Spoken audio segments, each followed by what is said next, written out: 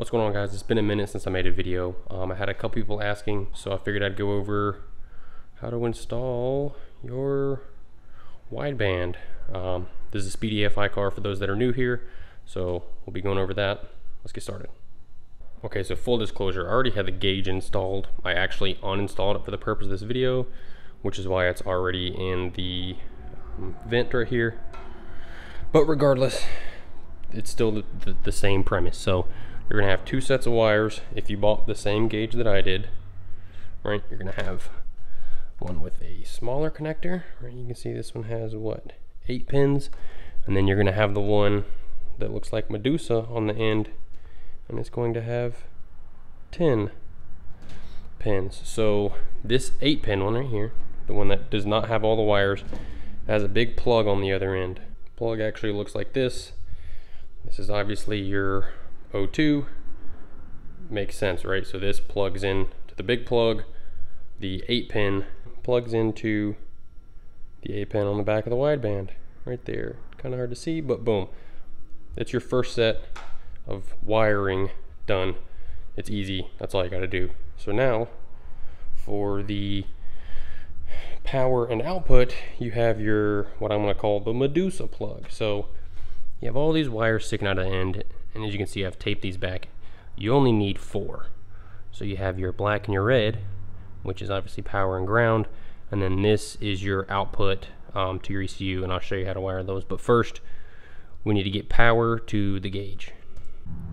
So the easiest way to get power in my opinion is your cigarette outlet. I have this light out just because it's easier to reach up in there but I pulled the plugs off of the back of the outlet and then I put these spade connectors on it the black and blue as you can see this is your positive and just the regular black is your negative. If you don't want to use your cigarette lighter um, there are tons of other things you can use I've seen people use the window. I've seen people tap into the um, radio. There you can do whatever you want. I just didn't want to have to tap into the tumbler. I didn't want to mess with ignition stuff so I just did the cigarette. You can even do the light if you wanted but this was just easier because I don't use it. So pulled them out, put the spade connectors on. Easy. So now we have power to the gauge. So with the power taken care of, right, we now have these two left. The white is your 5 volt positive out, and your brown is your 5 volt negative out. So for the white, your 5 volt positive out, I made this cable, which has white wire specifically just to help understand what's going on here. So this is your stock O2 plug. So your O2 originally plugs in here, and this is obviously the male end. The female end is one wire, and the one wire runs around and connects up to the O2, which is in your header. Obviously, my header is out right now, but it's pretty simple. It's one wire. You snip that off, and then you extend it. So you can see right here, I have just soldered them together, and I used white just for the purpose of the video. So this, right, this is a female spade. It connects up to the male spade that I put on the end of the white. That is your 5 volt positive taken care of. So we have one more left. So now for the brown, you need to make a whole custom cable. You can see I have a male spade connector on the end of the brown. And then I have this very long cable with a female connection on one end and then it runs down. I don't feel like taking it out because it's already zip tied up underneath the steering column, but it runs through there, out a hole in the firewall. It is this upper wire right here and it runs around and is grounded right there, right underneath the fuel pressure regulator. So this ground right here is the one that runs around through the firewall and then that's what you're going to connect up to your brown end on your Medusa plug. Right? Boom. That goes to there. That's all four wires taken care of. So with everything plugged up, it's now time to plug both of the main connections into the back of the wideband and it's pretty simple.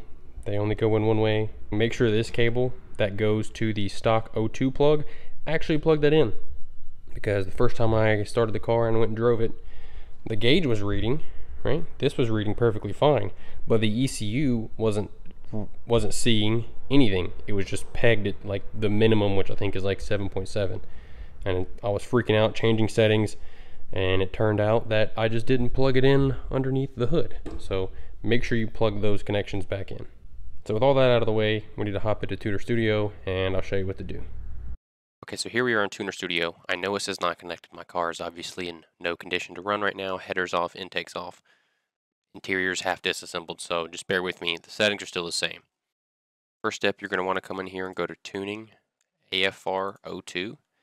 And by default, if you're using the base map, this sensor type is going to be narrowband. You need to change that to wideband. Um, then you just click Burn, click Close, Step 1, done. Second step, come in here under Tools, go to calibrate AFR sensor. And you clicked on an AEM video, so I'm assuming you have an AEM gauge, but if not, there are other presets down here, like if you have an Innovate, you can pick from one of these.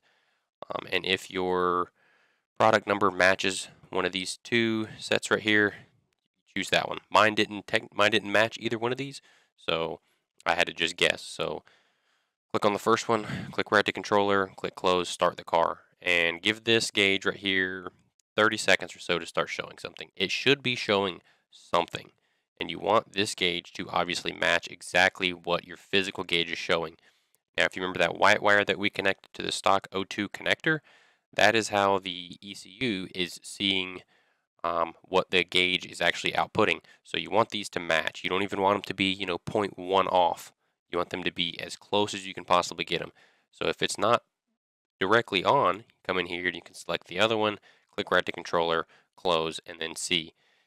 Still, if neither one of those are working, you can come in here under custom linear wideband. And I was using these values right here. 0.5 volts is 8.5, 4.5 volts is 18.5. That seemed like a pretty decent point for me. Um, but after I fixed a, a grounding issue, I just went back and used one of the presets. And that's all we got time for today. I'm going to leave you guys with this little teaser. I had to update my KPA values in my table from uh, 24 to 100 up to 24 to 230. If you know what that extra 130 is, you know what's on the way. Um, so thank you for watching. I hope this was informative and catch you in the next one. Peace.